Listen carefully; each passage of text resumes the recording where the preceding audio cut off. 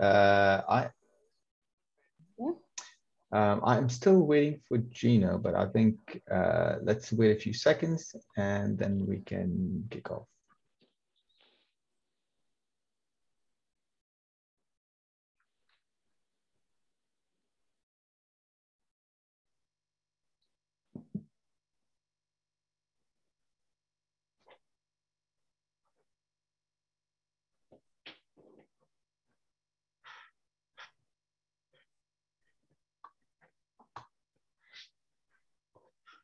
All right, I'll give this maybe one more minute, given that we have a lot to cover.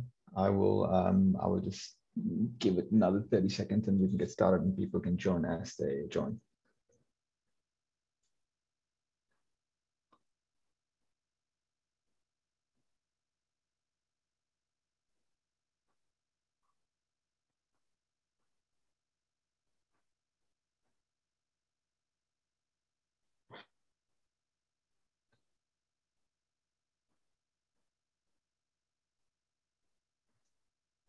All right, um, let's get started. I think we are one minute past the hour and uh, we can we can kick off this webinar. So the first of all, hello and welcome to the, the fifth edition of the Performance Matters series from GameBench. I am Sri Iyer and I'm the co-founder of GameBench and I'm really, really excited to have you all on the panel today. And this is um, is definitely a topic that I think we've all been a bit close to in in the, in the most uh, recent year, uh, 20 the COVID year, where I think we've somehow found a way to be on gaming platforms as much as we could. Um, and as a result, we've seen a lot of ISPs and operators um, target their marketing campaigns at, at gamers. And we want to find out what's the trend here and how effective it's been and we'd love to hear from the experts today. Before I get started, I'd love to introduce the, the panelists we have today. We have uh, Matthew Wallace from AT&T. We have Gunjan Garg from Vodafone. We have Chris Williamson from TELUS. We have Jonny Robinson from Zybre in the UK. And we have Shawn Simmons from um, NVIDIA. And on that note, I would like to quickly jump in and set some context here so that we, we all know why this topic is relevant, important today, and what the operators are doing to sort of drive this uh, trend up.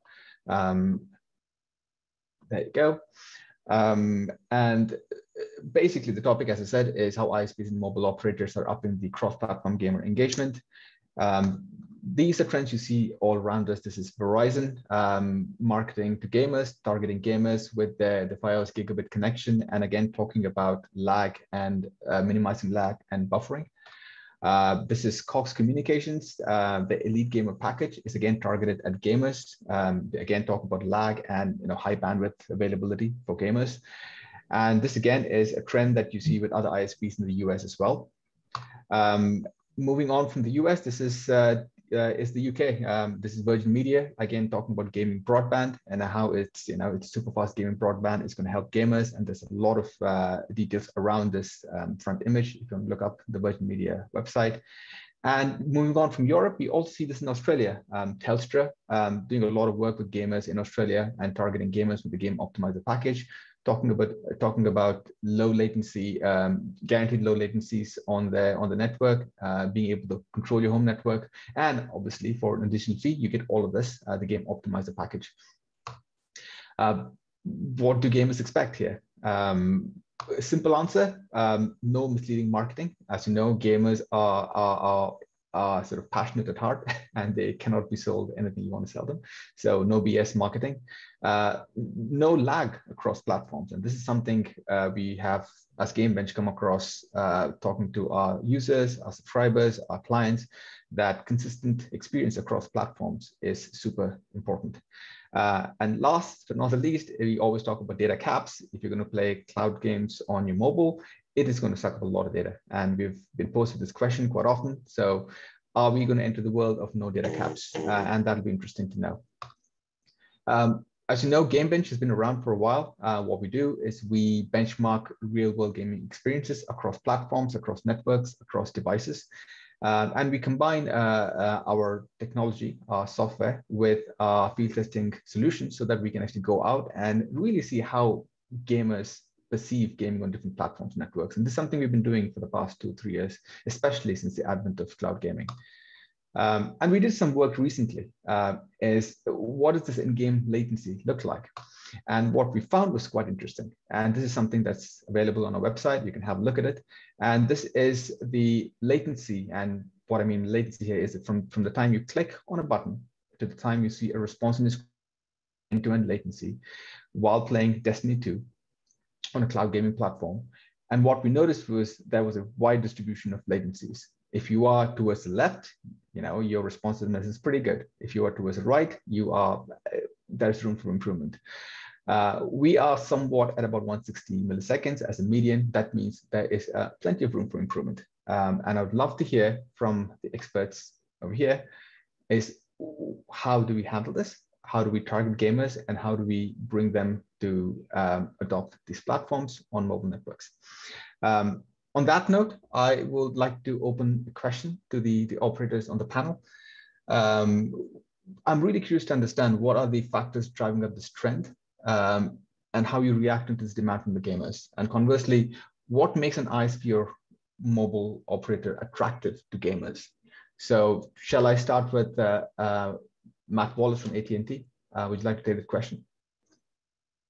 Yeah, sure. Thanks, uh, Sri. Glad to glad to be here today. So, um, looking across this, uh, cloud gaming is, in particular is arguably the the most challenging type of application for consumers on our network today. The, the networks in the last 20 plus years just flat out weren't, weren't designed for this sort of real-time interactivity that, that gaming and especially cloud gaming um, uh, that re re requires. Milli milliseconds matter. And we see that especially at you know, some reports that that gamers and especially elite gamers have reaction times faster than Olympic athletes is is pretty pretty amazing. Now, having said that, um, most gaming and and, um, and, and cloud gaming doesn't actually require um, super high bandwidth of you know hundreds of megabits per second or um, super low latency uh, based on the chart you were you were showing um, you know five or ten milliseconds of, of latency what's really important that um, um, we believe and uh, through lots of conversations is consistency. Um, averages won't won't cut it. Consistent bandwidth consistent latency because um, it's the one packet where you're trying to, to duck when you're being shot at that can be the difference between you winning the uh, winning or losing the game if it's um, if it's delayed or or lost. And um, now consistency takes uh, uh, a number of forms. If you're um, we're dealing with fiber networks, AT&T, you know, it's a, it's a bit easier as you were just showing. Um, AT&T's got really broad fiber networks covering 15 million homes in the United States on its way to 30 million over the next few years. But most people, um, probably not the you know highest end gamers, but most people who even with a fiber connection are are um, are using Wi-Fi to connect, and Wi-Fi is notoriously variable and inconsistent in its um, in its performance. Um, then you've got um, uh, cellular networks, and even with with 5G, AT&T again has got a huge um, uh, a huge network for, for 5G covering about 250 million Americans. Um, uh, 5G is faster, but just having fiber and 5G alone isn't enough to provide the consistency that, that we need. It is, um, it's newer technologies that build on top of those, um, uh, those, those capabilities, things like network slicing, edge computing, the ability to get real-time uh, performance data out of the network, which are going to make um, make the difference and be able to provide the, the consistency that, that uh, customers in, in gaming and other advanced applications are going to demand. Uh, thanks, Matt. Um, to just uh, continue on that point, um, and that's the American view, which is good to hear. Uh, what are the Canadians and the Europeans saying? Gunjan, should I? Uh, do you want to take a uh, take a stab at this? Sure. Um, I think first of all, um, we need to understand that you know what is driving this trend. So uh, you know i always say that uh, when 3g was launched it was all about you know music streaming. Uh, and then when 4g was launched it was all about video streaming. Those things were very popular on the you know telco side of things. And uh, but you know 5g and gaming is very different. And the reason uh, now gaming is so popular and cloud gaming has become so popular among telcos is because um, you know in video and in music you could stream things you could buffer things. But gaming is totally different. It's interactive if you're playing competitive gaming or even you know if you're playing a shooter game and there's even few milliseconds of latency even five milliseconds of latency your whole experience is destroyed. That's why i think you know 5g and even uh, more demanding networks and high performance networks has become even important. Uh, from uh, you know this is from the technical perspective, but also, uh, you know, cloud gaming is driving more economical form of, uh, you know, gaming with subscriptions and, uh, you know, bringing uh, different experience of removing things like no need to uh, wait for the downloads um, and, you know, getting instant play with the games.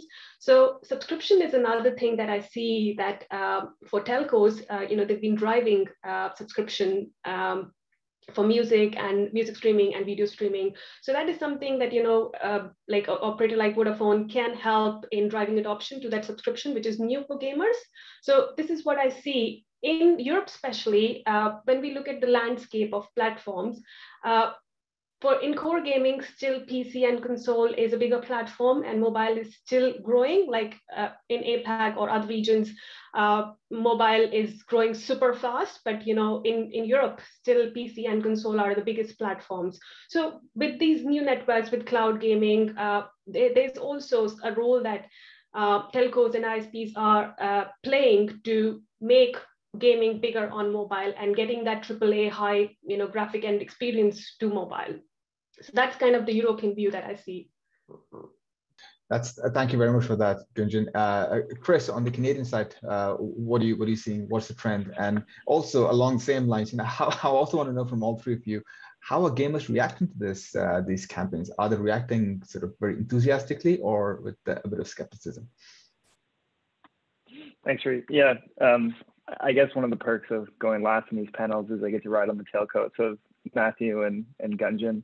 Um, I think the the Canadian perspective is identical to what they've described, right? At the end of the day, um, what gamers really, really need and, and what they want is a consistent connection that's going to enable them to do what they want to do, right? I, I think about it, you know, similar to my own experiences playing soccer, right? Like the the experience playing soccer on a really nice level field is way better than playing on something that's, you know, some farmer's field with bumps on it everywhere. It's it's truly night and day. So at the end of the day, if you really want to provide the right experience for gamers, uh, that's what you need to prioritize. Is just creating this level playing field for everyone so that they can have that experience. Um, so from a technical perspective, I think that's what what you need to drive towards. And from a business perspective, uh, TELUS that's what we've been trying to promote in market. Uh, we have similarly to the, the the pages that you're showing in the beginning of the presentation uh, you know, we have dedicated microsites speaking directly to gamers, uh, and we see when we when we promote gaming specific campaigns and market, the response from gamers is huge. Uh, again, at the end of the day, this is a group of people that's very passionate about their internet connection, uh, and it's something that they prioritize, right? Just like any hobbyist, uh, a soccer player wants to play in the the right field, a cook wants to have the right ingredients you know this is something that's that's central to their experience and and so we find uh, yeah a great amount of engagement from gamers in the community when we when we focus the messaging on speaking to them and, and what they need uh, that's really good to hear. Now, I'm going to switch gears and move to, to NVIDIA for a second, because at the end of the day, we are talking about cloud gaming, and that has been a recent trend. Uh, I know native gaming on PCs, Gunjan, as you mentioned, is still very popular, and um, we've seen that mobile is picking up when it comes to um, cloud gaming, but it still seems to be quite predominant on, uh, on, on, PCs at the moment.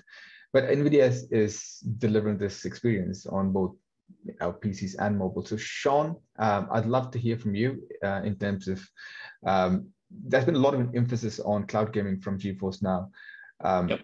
Are the tech barriers going down? Um, do you see an increase in adoption uh, among mobile players? and players at home who are probably used to Xbox and you know more powerful consoles. Love to hear from you on that.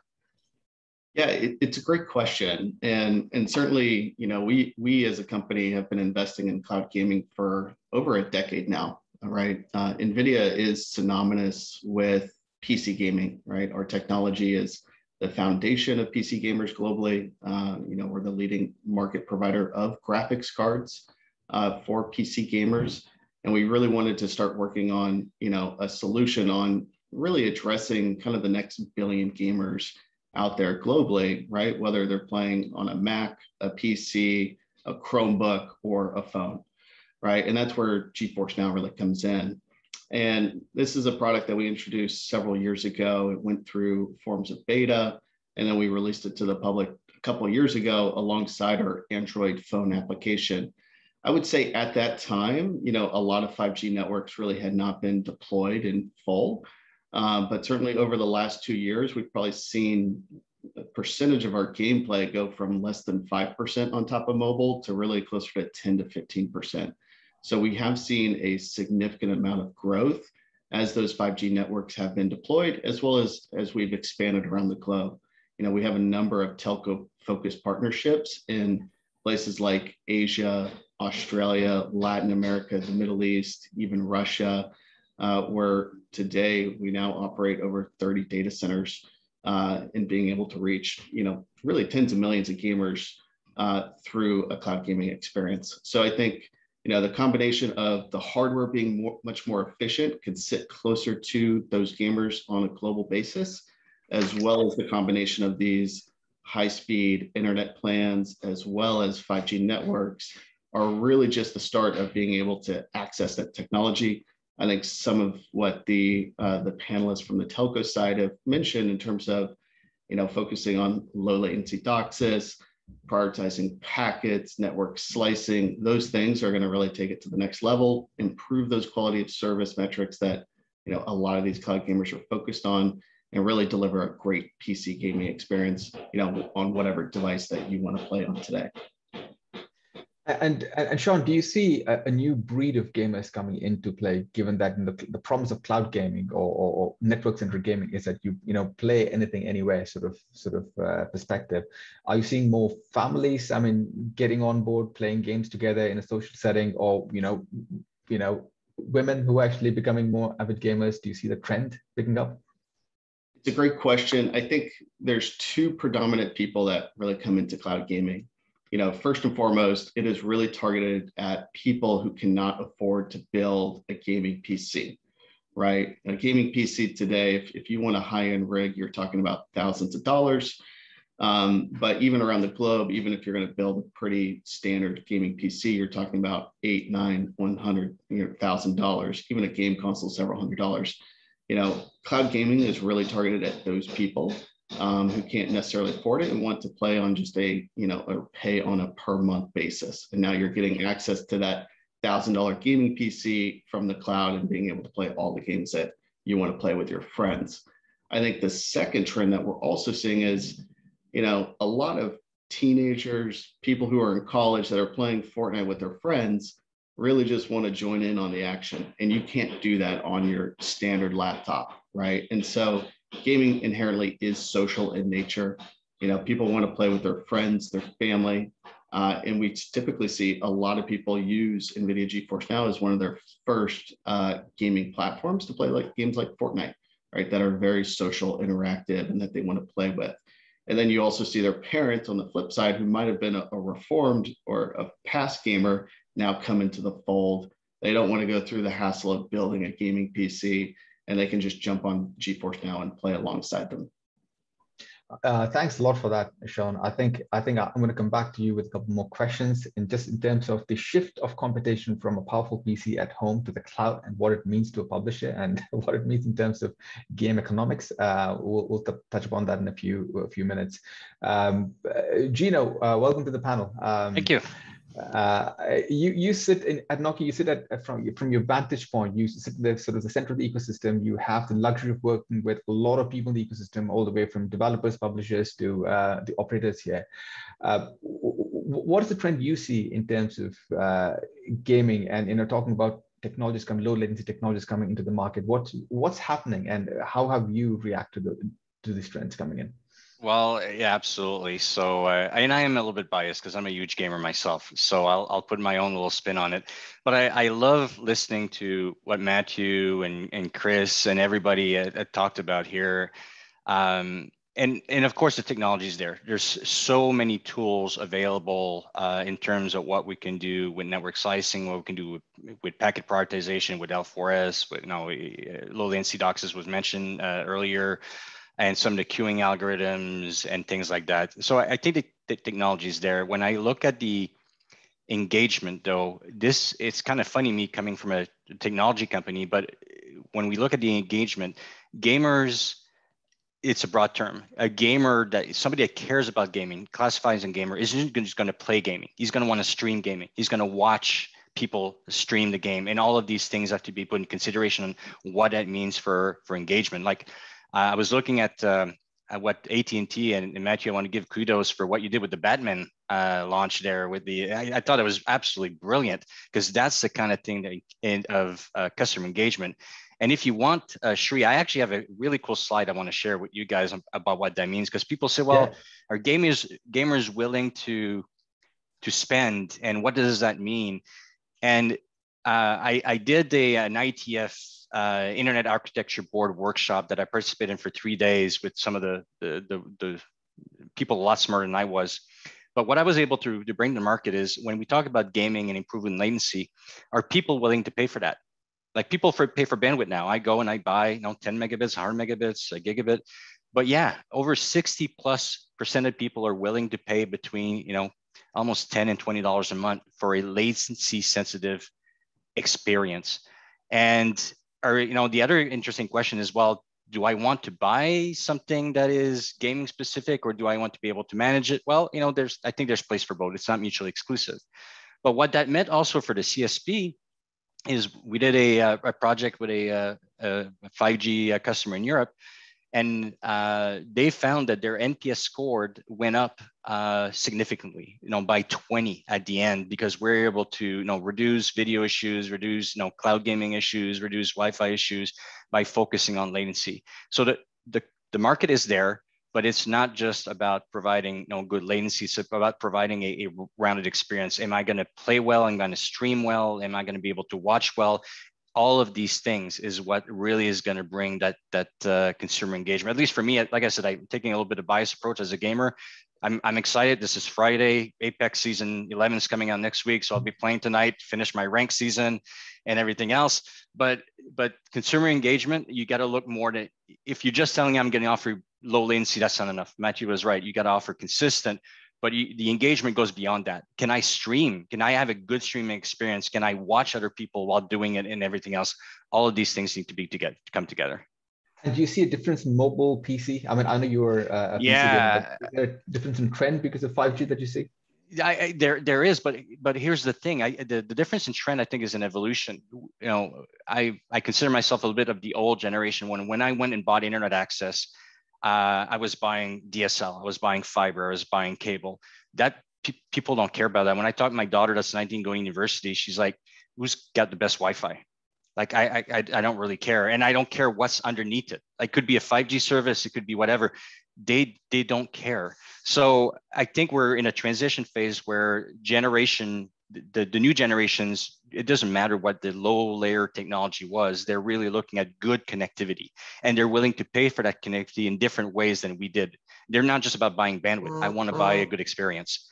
So, so I think there's a shift. Uh, there's, you know, the as the the new generation comes in, they're looking at things differently and they're looking for different things as well.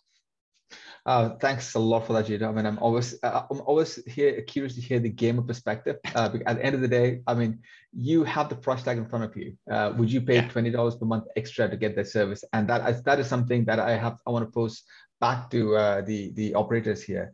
Um, do you see operators putting an SLA in place so that there is guaranteed bandwidth and latency? Is that something as a trend we're about to see in the market that we haven't seen before because I see a lot of marketing saying, oh, we have the highest bandwidth and I run a Ookla test. And it's like, well, it's it's not at 400 Mbps. It's maybe a lot less than 100, but the the packaging says something else. So well, SLAs are tough because you're not offering a managed service you know, where an SLA could be enforced the same way that you do an enterprise connectivity and whatnot. But, but what I think is you can offer a differentiated service. You can offer a preferred service. And I'm not talking about anything that would violate net neutrality and all that, but you can offer a differentiated gaming experience uh, that is better than your competition, that is good for the gamer without having necessarily to go to an SLA. Because at the end of the day, we're still working with technology that is subject to outside interference and all kinds of different things. It, you know, unless it's a fully managed service, then it's that's really tough to to be able to enforce. Got it. Uh, Matt, Chris, and Gunjan, what do you what do you think about that? Uh, you know, putting something a bit more concrete in place, guaranteed bandwidth, guaranteed latency, is, is that something we're going to see? Um, and are gamers like Gino going to be happy that we have a guarantee? What are your thoughts on that?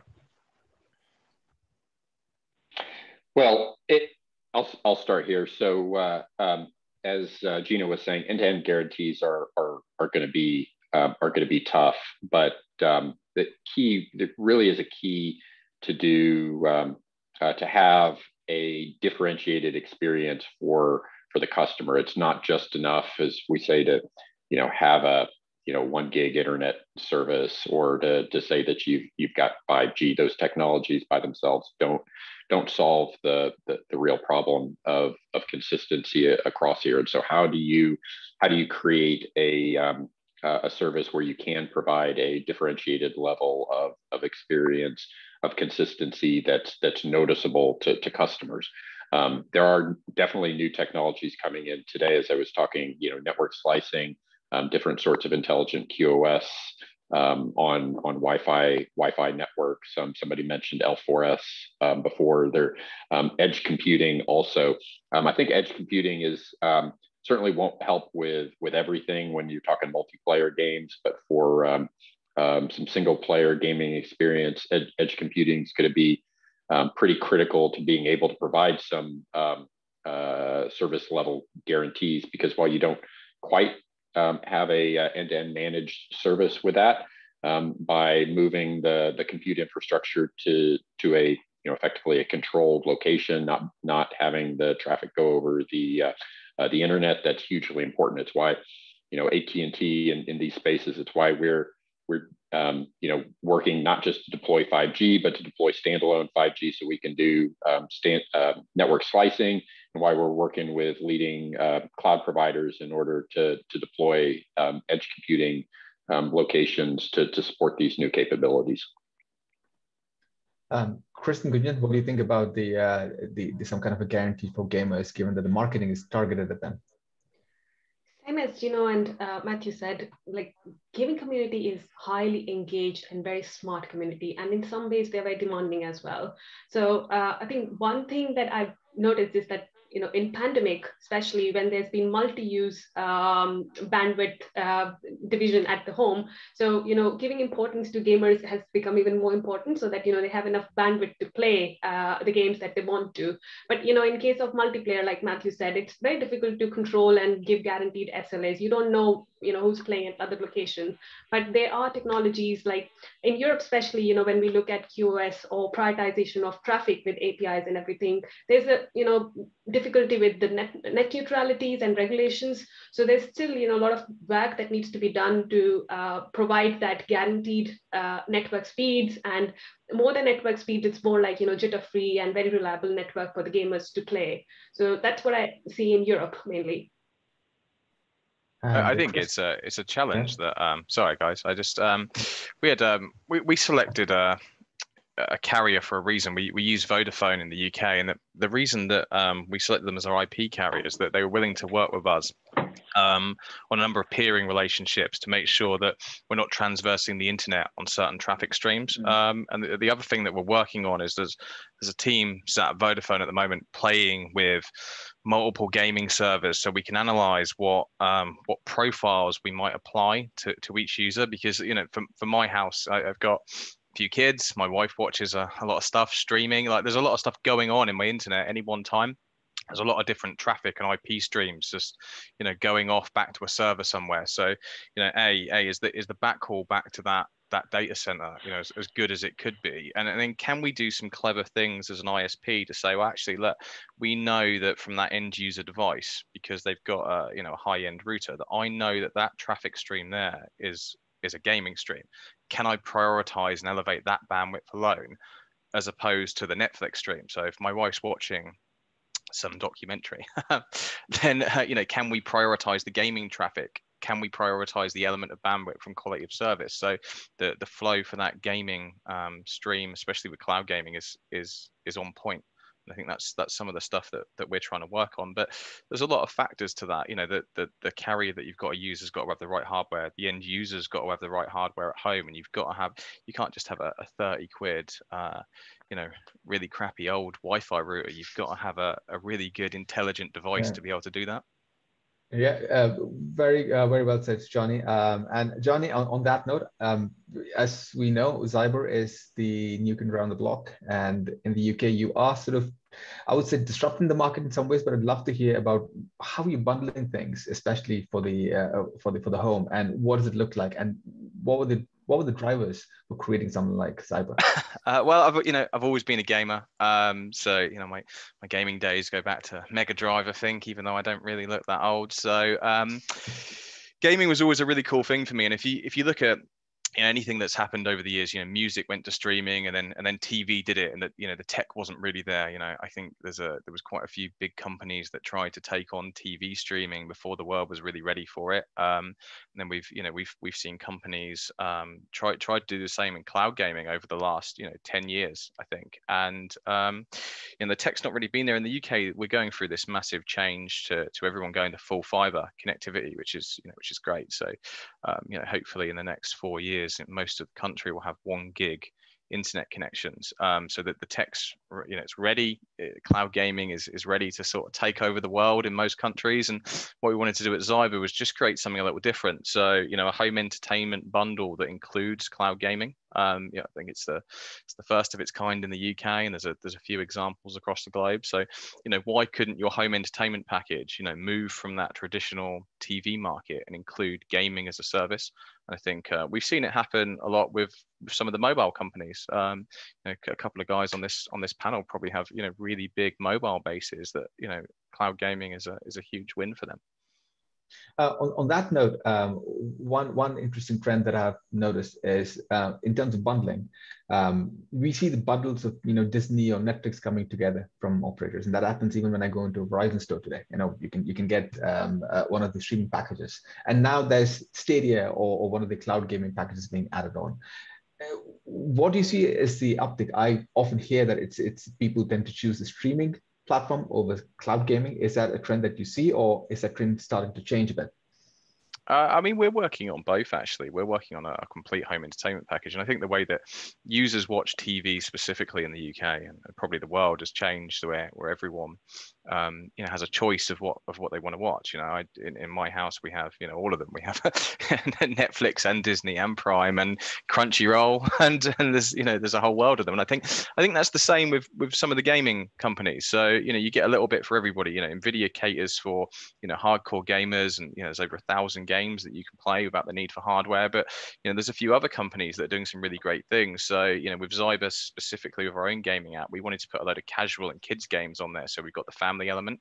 You know, you don't need to own the game. You can you can just play mm. it. There's uh, there's companies like Antstream Arcade which have like a thousand retro games, so you can play stuff like Rampage and and all the other old favorites to to rekindle those grey gamer market. And then you yeah. know you've got a few others that you know that and I think that we just added like 200 HTML5 games. So those hyper casual things that my kids will spend hours on end playing on the phone, you know, they can now play with their TV remote, which uh, which I think is really cool. Um, not only that, they can play it across any device that you have in your household. Oh, that's that's really good to know, Jonny. Um, on, on that note, I want to sort of switch back to um, um, to Shawn on Nvidia because one one thing that has been brought up in, is is in terms of game economics and business models. Um, again, when it comes to packaging gaming, one either through you know your bundle Zybre, Zybre kind of bundles, or adding on cloud gaming on top of the mobile operator package that you can get. Um, at the end of the day, there has to be an economy that works for everybody. And one thing we've heard consistently is, you know, cloud gaming is is too expensive. So you're shifting the competition from your local device to the cloud.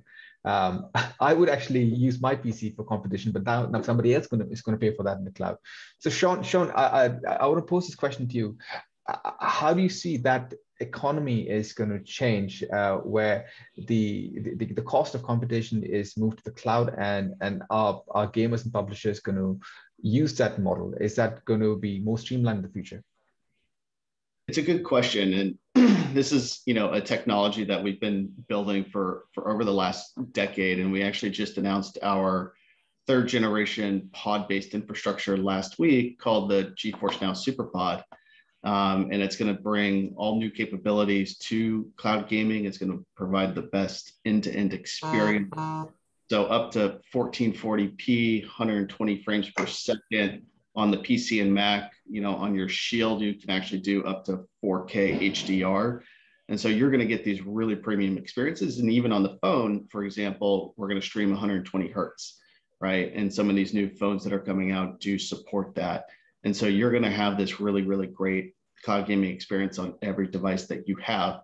I think each generation that comes along, the economics of cloud gaming continue to improve.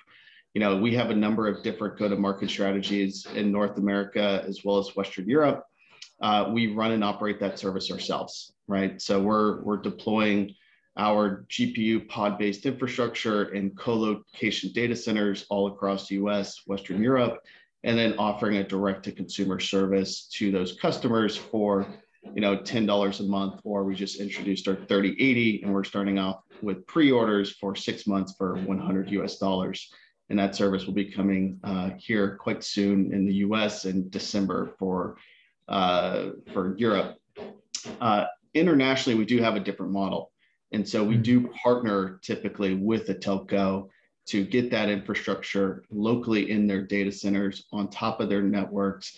And they do a lot of the marketing and billing direct to consumer, right? And so they have a lot of different go to market strategies. They could be bundling it in with some of their top tiered 5G or internet plans. They could be selling it on a standalone basis, um, or they could be doing a combination of all of those things right? And I think it's a great opportunity for them to, you know, not only acquire new users and coming to their internet service provider, but also, you know, as a way to upsell to some of these new, you know, technologies like a gigabit Ethernet plan or a 5G plan. And so I think there's a lot of great ways to monetize cloud gaming. And I think over time we'll continue to improve those economics uh, to where the you know entire ecosystem is is doing quite well. Uh, yeah, I'm, I'm, I'm, fascinated with all the changes in um, in business models that we're just starting to, to see with with this. I think that's the most exciting, one of the most you know beyond the games it, itself, one of the most exciting things that we're we're experiencing here. And with um, you know these these trends aren't necessarily new. We saw them you know five to ten years ago, starting in the video space with um, you know, you, you, don't go to Blockbuster um, anymore. Uh, hardly anybody, you know, rents a, you know, video on demand movie from their, um, you know, from their their cable company. Um, instead, we've got we've got streaming from the cloud. You have um, you have subscription services instead of uh, a la carte, and you've got got these direct to customer relationships um, and services starting to starting to, to form. And those are things we've seen entirely in the video space but beforehand, but now we're now we're seeing those in the in the in the gaming space and it's it's creating lots and lots of new opportunities when as Gino was was mentioning when when uh, we last week launched um, uh, Batman Arkham Knight for our uh, uh for our for our wireless customers. It's one of the things that we were trying to um, uh, to demonstrate. And um, you know, on that we worked with uh, you know Google and their platform as a as a service um, on the, the, the back end, um, kind of the same thing that that runs runs Stadia in order to and created a you know really frictionless front end for for the customers in order to demonstrate you know any any telco any game publisher um, anyone wants to bring new new experiences to customers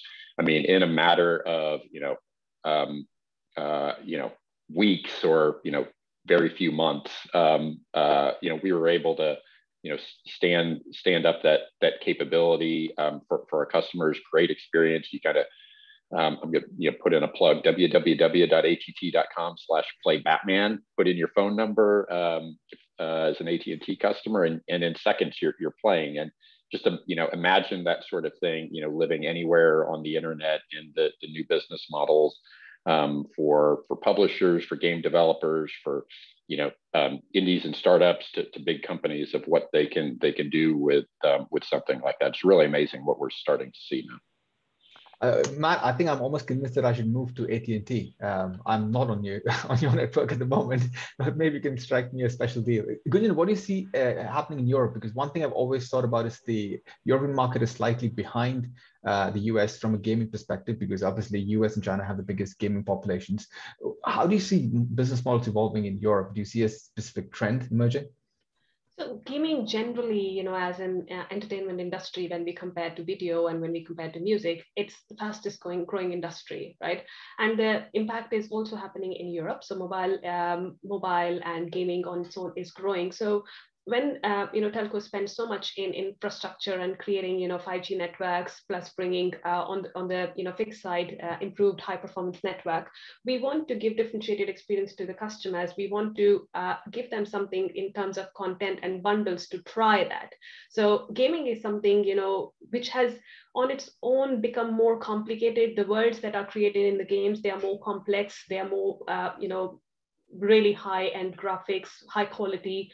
So we want uh, customers to use our technology, use our infrastructure and experience those things. So with this change, it's happening, but it's right that, you know, the way it's happening in China and US, it's not at that pace, but that change and that movement is happening uh, in, in Europe as well. Um, what about um, Canada, Chris? Uh, what do you see, how do you see the evolution of these business models um, changing in the near future? I think uh, we're starting to see this shift um, towards uh, where gaming is following the evolution that the video services industry did. Um, I think what Matt's done at AT&T, kudos, hat off to you. I think that's awesome. Um, but I know as well, you know, the natural gravity of the industry is publishers are wanting to start going direct to consumer, right? And so I think we're going to start seeing the industry evolving in this direction where publishers are able to spin up their own offerings, just like Matt has done at AT&T um, and so we're going to start to see, I think, the industry start to fragment along those lines a little bit more. And me as a telco operator, I'm actually quite excited about this. I think uh, we as as operators have a lot of value to add in this space, right? We're a foundational bill. Uh, we have the bundling capabilities that uh, Jonny's going after at Zybre. Um, and so, you know, in an industry where the cost of actually creating these services and the cost of developing games is so high, managing things like churn, cost of customer acquisition, things like that. That's something that we at telcos do very, very well, right? That's that's the bread and butter of our of our business. And so I think the future of cloud gaming is actually a union between, you know, the, the game publishers and producers, cloud gaming platforms, and telcos who can optimize the service, optimize customer acquisition, uh, and actually tie the whole experience together.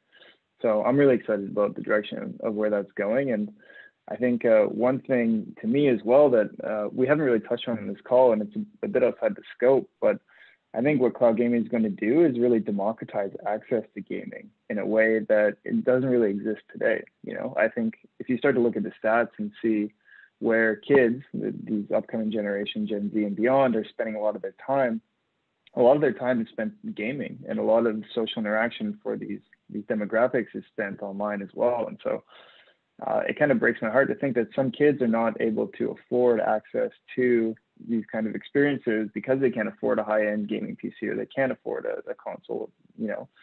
So I think we're going to start to see as the industry fragments and evolves and cloud gaming becomes more and more uh, endemic to the system, we're also going to start seeing more and more people engaging in a way that they haven't been able to before. And I think it's going to create a really, really beautiful industry, really vibrant industry as it evolves more than all, today. I think I think we're waiting for that industry to uh, pick up. And, and Gunjan, I, I take some of the comments you made on our previous call is where I think there's there's ways to go for cloud gaming. Um, it's just that you know it's it's up and coming, and we've seen the trajectory. But I think a lot of things have to fall into place for that, all the way from from the business models, to the technology, to the latency, to the game behavior, bundling of that to make it attractive. I think a lot of these things do have to fall into place. So I I, I take your point uh, well, Chris, on that. Um, I, I do want to touch upon a couple of questions coming in from the audience. Um, the first one really was from an anonymous attendee. Uh, Gino and Jonny touched on this, but how can telcos provide differentiated service for gamers without uh, falling foul of net neutrality? Are you seeing any flexibility from regulators to allow some of some form of traffic prioritization, or do you think it can already be done without incurring net neutrality issues? So, um, who wants to take that? I know Gino, you responded, uh, but yeah, I'll, uh, I'll I'll take a quick stoke at it. So the you know the the basic concept for net neutrality was really do do no harm in providing a fast path for your service or fast path for other services and things like that. And, and really that's slightly different. What we're trying to do there is provide a traffic queuing efficiencies and you know in in managing that. So it's not that we're limiting bandwidth to particular application not at all. We're not that's not what we're about is we're providing a more consistent traffic profile which today to be honest the end user can go at uh, you know best buy or staples and buy a gaming router and do the same thing at home you know, and probably not nearly as efficiently as a service provider could. So yeah, so I, this does not violate net neutrality. We're not providing a or paying for a fast fastbat to a given service. We're basically managing the traffic at the request of the end user. So it's the end user that decides, you know, what he wants and, and, and what he's willing to do there. So yeah, it's definitely possible. I've personally been involved in, in dozens of projects uh, like this around the world, Canada, US, Europe, Asia, and in no cases did did we run into any net neutrality issues, whatever, if it's done properly. But yeah, there are mechanisms and tools and technology that can be do that can be used that will not violate net neutrality here. Any comments from the operators on the call? I think it's an interesting question for sure. Uh, net neutrality is obviously an important consideration. Uh, I think an opportunity for operators is um, where we are actually able to provide some kind of managed service, just like we do with our TV services today, right? We're, we're able to trust that traffic as it transits our network. Um, and so I think if you think about a future where operators are able to build in gaming services, just like Matt has done with Stadia into our set-top box experiences and, and, you know, kind of own this, and, and this is a TELUS service, for example, I think there's opportunities to prioritize that traffic within our own network uh, without violating net neutrality. Um, and so I think that's a that's a key opportunity that we see on the horizon for sure. Yeah, I'll uh, um, you know agree with uh, what what Gino was was saying there, but it, but extend you know to, to add something that he didn't was was that um, uh, another kind of key, key component there is what anything that's done in this space needs to be um, agnostic to the, um, the, the the service provider out there, not preferencing you know one company or over over another and kind of picking and choosing winners. That's the whole that's the whole concept behind this, and and um, um, so um, you know create business models and capabilities um, that that support um, that that support that. That'll be a really important kind of key to um, to delivering not just for gaming, but a you know a next generation of, of services, um, you know, across lots of different things, from augmented reality, the metaverse, and things like that in the future. Um, the, the old networks aren't going to support them, and and new capabilities need to be provided in order to support those services.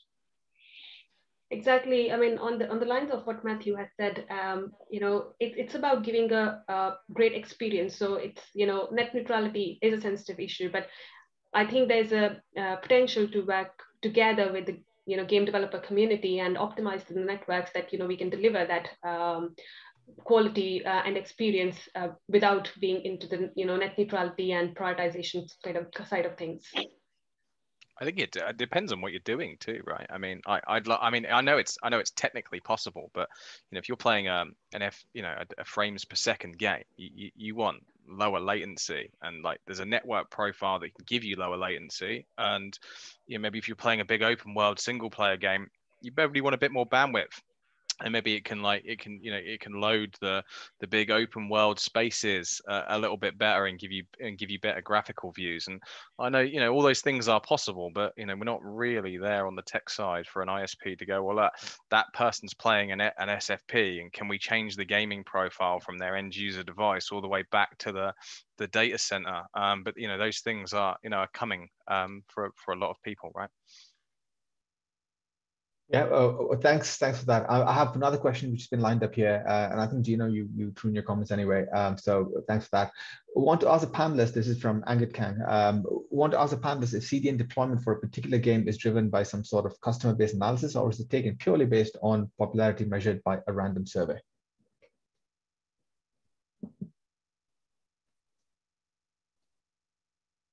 Gino, you want to go again? Yeah, no, again. So my, my answer was it's it's not mutually exclusive. So uh, the game studios that I've personally worked with and dealt with when they they launch the triple A games, they typically have an idea of of where data day centers they'll use and whatever, and they'll get a good worldwide geographic uh, distribution, you know, based on on what they know their their latency requirements and whatnot.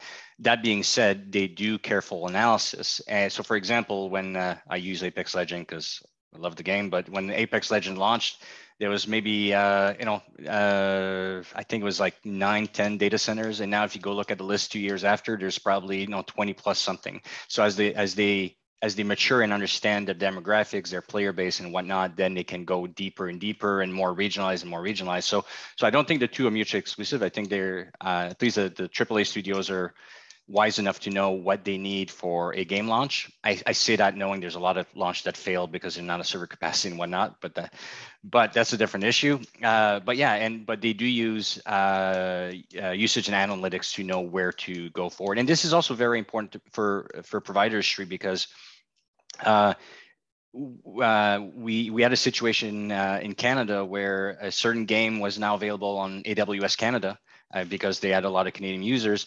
Yet a particular operator was uh, routing all of the AWS Canada traffic to AWS US instead of having using a direct peering, which was available. So adding an extra 18 hops. So, you know, the, there needs to be an understanding there from the operator as well. If you're serious about gaming to, to be able to prioritize your traffic accordingly, to be able to take advantage of it. So, but yeah, it, it's, it, the two are not mutually exclusive. They do both. Got. Shawn, from NVIDIA's perspective, do, do you see do you see how do do you have recommendations how things should get deployed? Because at the end of the day, I mean, the, the game is being served from your server, and if it's not served correctly and it's going through 18 or 20 additional hops, uh, I think the user is going to think something's wrong with the game, you know. But it's nothing to do with the uh, the cloud gaming platform here. Um, is there something that you uh, recommend to to to sort of uh, operators and how one one should be deployed, one platform should be deployed on the network? It's a good question and it's it's a complicated one. So let's just take the the U.S. for example, where you know we have nine data centers across uh, the United States to service a, a very large user base. So from from that user's perspective, when they're actually clicking that pixel on their gamepad or keyboard and mouse or whatever it might be, it's sent to the data center and then that frame is actually rendered within that data center, right? And sometimes you are then connecting from that data center ultimately to that multiplayer game server, right? And so sometimes you can actually provide a better experience already being in that sort of centralized data center, having, let's call it, you know, multiple IP transit vendors who are then servicing uh, those end customers you know, I think the things that we can do to improve that uh, experience is sometimes looking at direct peering relationships, you know, identifying where users are having unusually high latency. Um, you know, so for example, I think we did an analysis in like El Paso, Texas, and we have a data center in Dallas, and they were experiencing unusually high uh, latency. And so we contacted the ISP. We tried to understand what are their peering points and then you can really focus on, okay, this group of users have now dramatically seen their performance increase. And so there's a lot of little things like that across the network that you can look to improve for, you know, that full end-to-end experience. You're not going to get mm-hmm. every single one, uh, but certainly there's there's a number of them out there uh, as well. Cool. And that actually brings me to a question that's very, very close to uh, to us at GameBench. Uh, we, we spoke about experience quite a few times. And in the past few meetings uh, with, with operators and anyone in the space, the, the, the objective quantification of gamer experience is always a big question. We talk about latency, we talk about the number of hops, but how do you quantify a good gaming experience is, is, is baffling because no one's been able to do that accurately. And we at GameBench have, have our own method uh, to quantify it. I'd love to understand from all of you, are we missing a game experience rating system that you know you can deliver against, promise on? And clearly there's a market for this because I can always say uh, we can deliver X level of gaming experience for an additional $20 per month. So is that something missing? Are we are we sort of shooting in the dark without having a very clear benchmark or target for what a good gaming experience should be? Um, I know it's a bit of a curveball, but I'll throw it back to the panel. Gino's laughing. yeah, I'm, I'm laughing because it, you know it's kind of like asking someone, "What's your favorite pizza?" You know what what makes a pizza good for me? It, it's so subjective in nature, but yeah. it is it is a very valid question, Sri. And, and at the end of it, even though everybody will have a preferred pizza, there are some key metrics that that are common to each one of them. You know, so there is a need for something like that. I'm hoping GameBench is is going you know is going to provide something there because it's really hard for me. We get I, I, get asked a question: How can I make my network better than the competitors uh, for gaming? Well, geez, where do I start? I, I don't know. Like, what does that? Who are your gamers? What do they play? It could be a million things. So it's important to have a common set of fundamentals that we can agree on across the industry: service providers, equipment makers, gaming studios, and you know what? Uh, we may not always be able to satisfy at the end of the day, you know, everybody what what's a good gaming experience to them.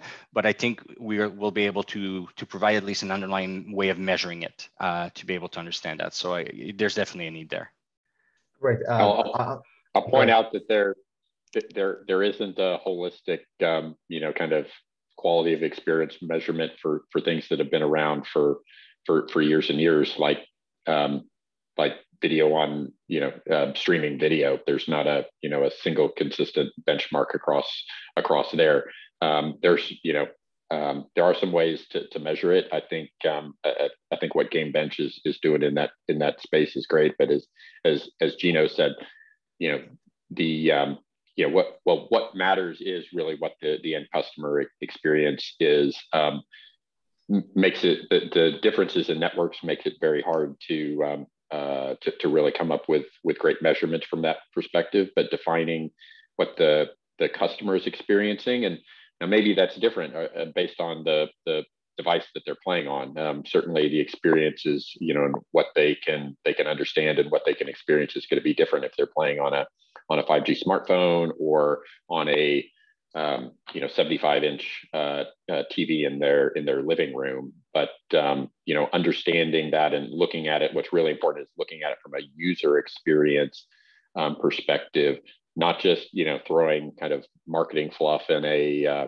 um, in a uh, uh, in advertisements that that say you know i'm a network for, for gaming but actually doing something that has a recognizable difference for the for the customer and viewing it from a customer perspective is absolutely critical um, Gunjan, did you have any thoughts on that from the from from the European perspective? I think that uh, you know it.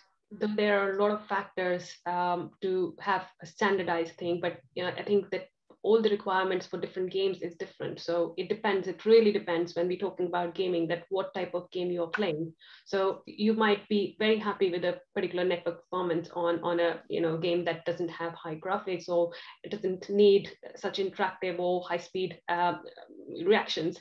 But then you know if you're playing another game or if you are in a competitive setup, you will have completely different expectations and requirements. So it really depends on you know standardization and understanding of what type of games require what type of uh, you know uh, performance. So it, it's understanding that and then creating probably some standardization around it uh, I think that's a great answer, and I think that was uh, very sort of in line with what I was going to say next. Is um, I think one of one of my, our really close uh, friends at another operator said, you know, what's happening now is that operators are, operators are becoming more of marketing companies than technology companies, and it's it's very, very sort of important to line up the marketing, which makes sense. Which was one of the uh, points in my first few slides, is to be very specific in what's being delivered so if you are going to be the best at Call of Duty on PC or, or the best, best at Valorant or Wild Rift on mobile, then at least it's important to say exactly what you're good at and what's the experience you get on a specific game on a specific device